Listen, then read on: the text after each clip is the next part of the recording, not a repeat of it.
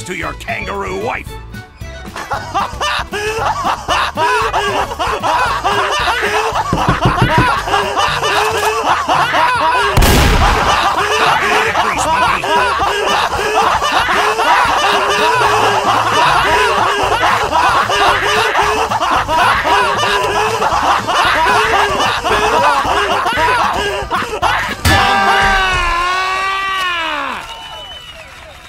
Ha ha!